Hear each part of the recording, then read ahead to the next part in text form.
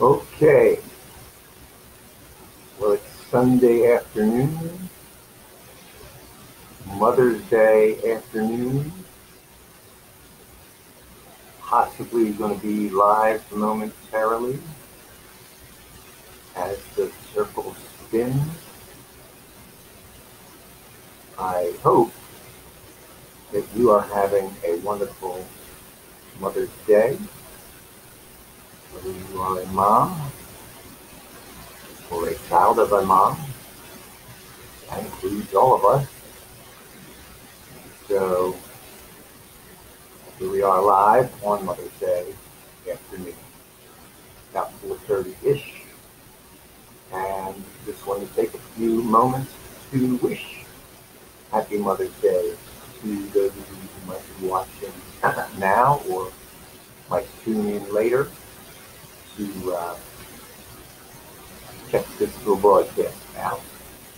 And um, so I have a few thoughts I wanted to share about mothers in general, a couple of mothers in particular. And I want to start with the scriptures. Hey, Phil. A lot of references. Hey, Teresa. Happy Mother's Day. Uh, a lot of references in the Proverbs, just for starters, to mothers. Proverbs 1 8. Do not forsake your mother's teaching. Proverbs 620, the same thing, basically. Do not forsake the teaching of your mother. She had a lot to teach you. In fact, Proverbs 31 1. Everybody knows that Proverbs 31 chapter pretty well. But it says that these are the words of King Lemuel, the oracle which his mother taught him.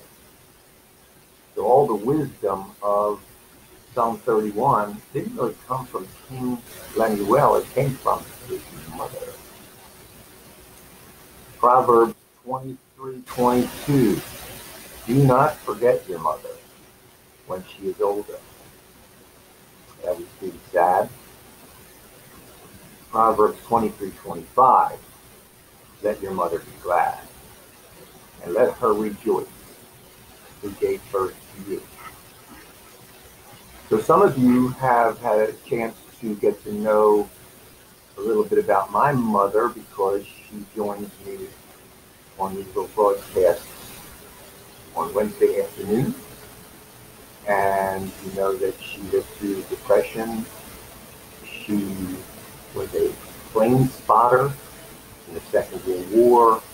She was a nurse. She had five children. Hey, Kathy. And um, she was not a ring card girl. She was. That was a school joke. But it's my mom's personality that really stands out. So many people have said things over the years like, um, you're a very lucky man. Joe DeMeco told me that once when he was doing concrete work at my parents' house. And my mother came out and gave him a glass of lemonade. And Joe called me up on the phone and said, You are a lucky man. Why are you calling me? Because your mother is so sweet. Said, well, you're right. She's sweet and I'm lucky. I've had people say your mom is the best. Your mom is your mom. Your mom is beautiful inside and out. I've had people say, I wish your mom was my mom. And I don't blame you. You're just a wonderful person. Hey, Alicia. And so that's my one blessing.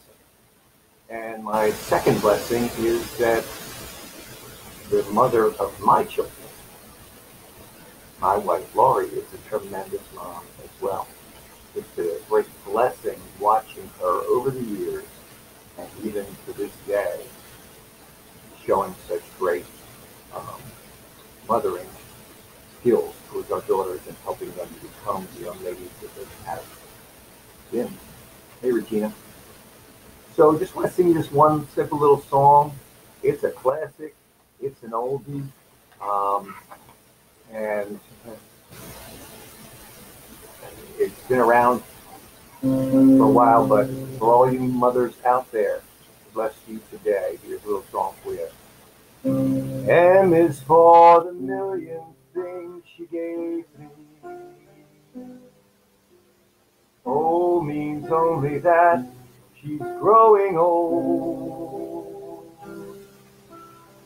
C is for the tears she said to save me. Is for a heart of purest gold. Is for her eyes with love light shining. Means right, right she'll always be. Put them all together, they spell mother.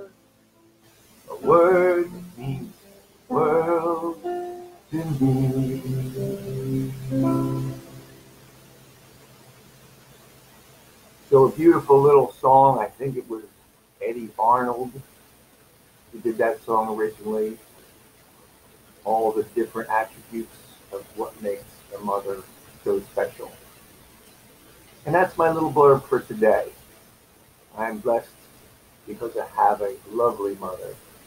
I am blessed because the mother of my children, my wife, is such a blessing to them and to me.